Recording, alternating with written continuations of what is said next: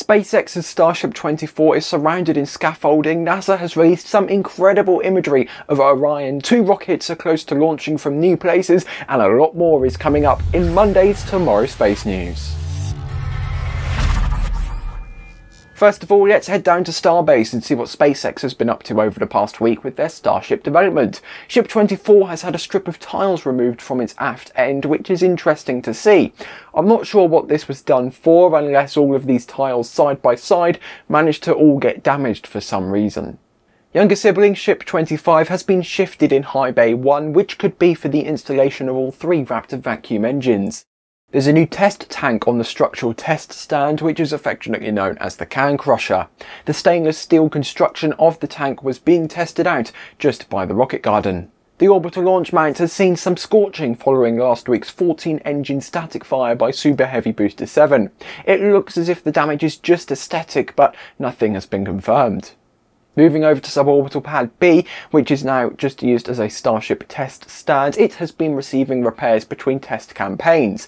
You can see that some scaffolding has been erected around the fins of Ship 24.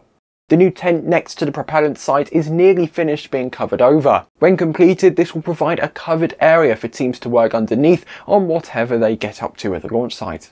SpaceX's next resupply mission, CRS-26, has been delayed by one day to Tuesday following a leak in the thermal control system of the final ever Cargo Dragon to be constructed.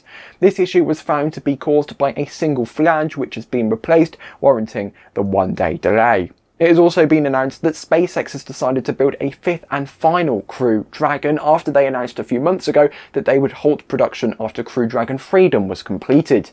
This new Dragon is expected to be ready in 2024. NASA's Orion capsule was announced as go for the powered flyby of the moon by Jim Free on Sunday with the European service module beginning its powered flyby burn at 12.44 UTC on the day of this episode's release, Monday.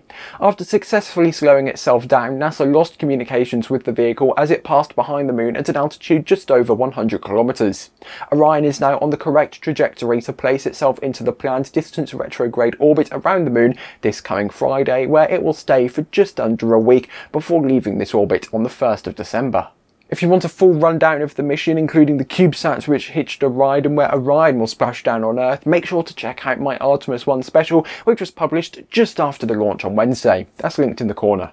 These stunning images were captured by the cameras on the ends of these service module solar panels, and it finally gives us the ability to see a modern, crew-rated spacecraft heading to a destination no human has visited since 1972.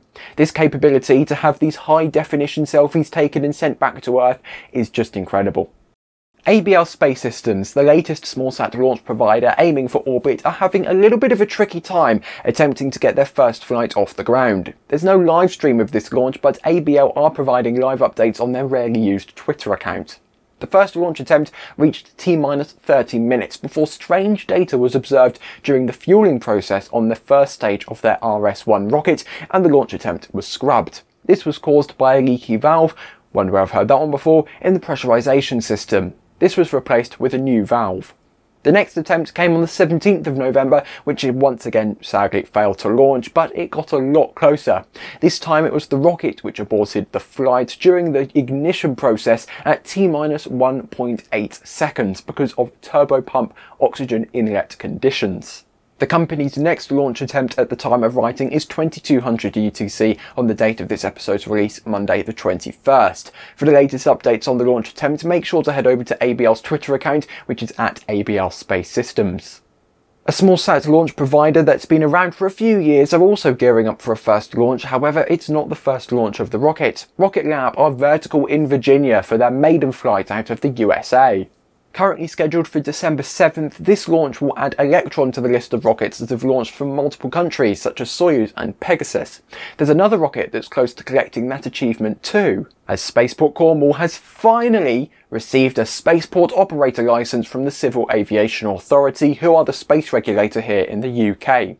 This means that Virgin Orbit can, and have already, been getting on with rehearsals for launch day, but the launch cannot occur until Virgin Orbit has a launcher license from the CAA. The launch is also extremely unlikely to happen until December at this point, so anyone attending, make sure you've got your winter gear ready. A winter midnight on the Cornish coast, it'll be chilly. The space traffic segment this week is entirely composed of Chinese flights, the first of which was the Yaogan 3403 satellite and an unknown test payload. These were launched at 0138 Universal on the 15th of November from Site 9401 at the Jiuquan Satellite Launch Center. Both payloads ended up in a 1092 by 941 km 63.4 degree low Earth orbit. Next up were five Jilin 103D satellites, which were launched on a Ceres 1 rocket by the private Chinese company Galactic Energy. These satellites were launched from Site 95 at the Jiuquan Satellite Launch Center, and they've ended up in a sun-synchronous orbit. Core stage engine start. Three, two, one. Boosters ignition. And liftoff of Artemis 1. We rise together, back to the moon and beyond. Of course, we did have the launch of Artemis 1, but that got its own dedicated video as I mentioned earlier. That's still linked in the corner of your screen if you want to check it out. Coming up over the next seven days, we have the aforementioned RS-1 maiden flight from ABL, Eutelsat 10B on a Falcon 9 from the Cape, SpaceX's CRS-26 resupply mission to the International Space Station, another batch of Yaogan 36 Group 03 satellites on a Long March 2D from Xichang, Pleiades and Neo 5 and 6 on a standard Vega rocket from Kourou, EOS 6 on an Indian PSLV from the Satish Dhawan Space Center, GLONASS M number 61 on a Soyuz 2.1B from the Plesetsk Cosmodrome in northern Russia, And finally Hakuto RM1 and a lunar flashlight on another Falcon 9 from the Cape. Before we see what's coming up over the next week on the channel, thank you to all the citizens of tomorrow who financially support the show. If you want to access Space News scripts as they're being written, our member live hangouts, Discord channels and a bunch more cool perks, then head to join.tmro.tv or the join button below. Let's have a look at what else you've got to watch this week on tomorrow. On Wednesday, Tamitha will be back with another important space weather update. Sadly, we won't have a live show on Friday, and I'll be back next Monday with some form of space news. Thanks for watching, hopefully we'll see you on Wednesday, and goodbye.